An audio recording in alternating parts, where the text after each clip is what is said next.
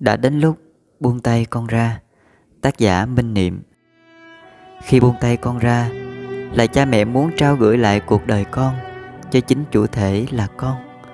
Bởi dù cha mẹ có yêu thương con đến giường nào đi nữa Thì cũng không thể sống thay cuộc đời con Chịu đựng nỗi khổ, niềm đau Hay cảm nhận cái gì là hạnh phúc.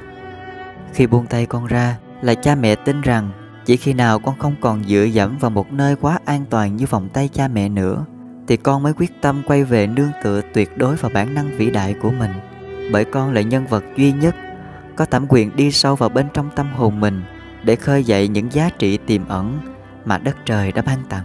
Khi buông tay con ra, là cha mẹ tin rằng cha mẹ dù có tài giỏi đến đâu thì cũng chỉ trao truyền cho con một số vốn sống nhất định, mà trong số ấy không phải thứ nào cũng phù hợp với cuộc đời con. Do đó cha mẹ cần trao lại vai trò dẫn đường đời con cho con. Lùi lại, để con mình học hỏi biết bao điều từ thế giới xung quanh và cả chính nơi con.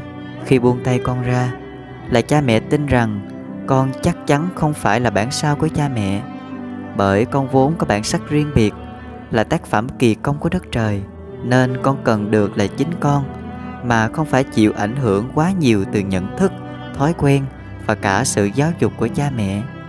Tuy con là sự tiếp nối của cha mẹ, Nhưng con sẽ rất khác với cha mẹ. Có thể có nhiều tài năng và bản lĩnh hơn, Có thể sống hạnh phúc và giàu giá trị hơn. Khi buông tay con ra, Là cha mẹ mong muốn nhìn thấy con vấp ngã Ngay từ khi cha mẹ còn có thể theo dõi Để kịp thời đưa tay nâng đỡ, Bởi cha mẹ kinh nghiệm rằng Những cú vấp ngã đầu đời là vô cùng cần thiết, Giúp con người mau chóng trưởng thành.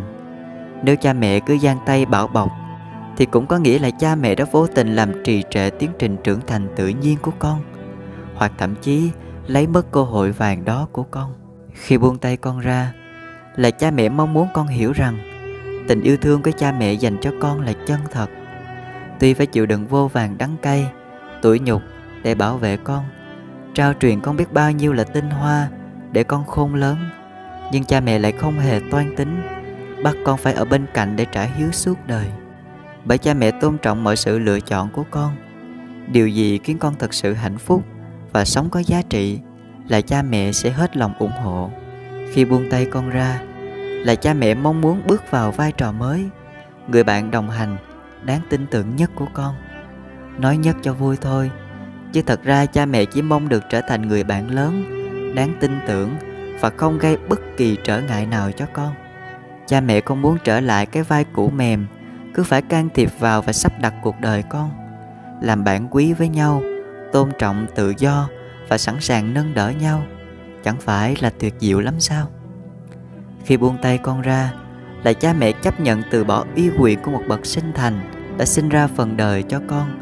Dù không hề vụ lợi, nhưng trong bao nhiêu năm sống trong cái vai như thế, thì rất khó có thể đặt xuống nhất thời. Bỗng dưng bây giờ lời nói của mình không còn trọng lượng đối với con nữa ngay cả những quyết định lớn trong đời mà con cũng chỉ chia sẻ với mình với tính chất tham khảo thì làm sao không buồn, không tuổi nhưng vì con, cha mẹ sẽ tiếp tục đón nhận phần khó khăn ấy và xem như bài tập phải vượt qua.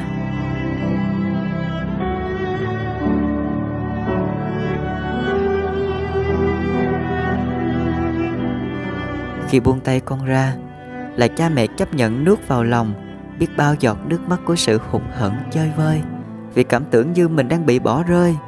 Phải thừa nhận rằng, tình thương nào cũng mang đến hệ lụy và tình thương của cha mẹ dành cho con cái cũng ít nhiều có sự nghiện ngập.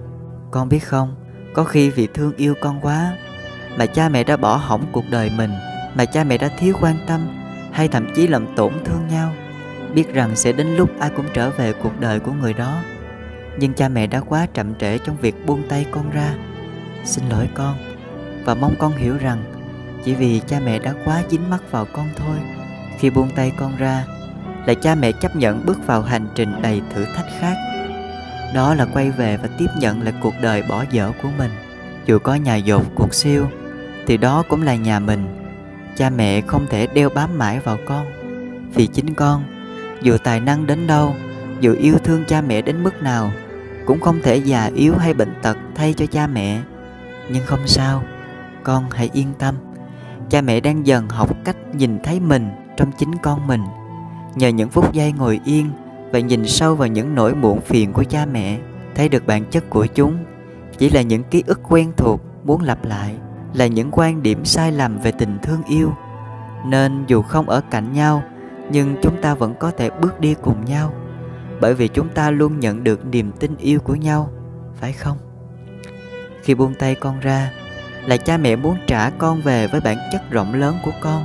Tuy con là con của cha mẹ, nhưng cũng đồng thời là con cháu của ông bà tổ tiên giống nòi đất trời. Nên con không chỉ hết lòng hiếu thảo với cha mẹ, mà còn có trách nhiệm với cộng đồng và xã hội. Bởi cha mẹ đã giác ngộ rằng, sẽ chia hạnh phúc của mình đến nhiều người là niềm hạnh phúc vĩ đại nhất của con người thế hệ cha mẹ vì quá nhiều ràng buộc mà chưa thực hiện được trọn vẹn. Nên con hãy tiếp nối. Hãy vẫn bước trên con đường sáng đẹp, dù vô cùng gian nan mà con đã chọn. Con nhé, cha mẹ sẽ cố gắng thực chứng điều mà tổ tiên từng dạy. Con cái ở đâu là cha mẹ ông bà ở đó. Để luôn có mặt trong từng bước chân trải nghiệm đầy tươi mới và hạnh phúc của con, mà không còn bâng khuâng gì nữa. Người đọc thích khai tuấn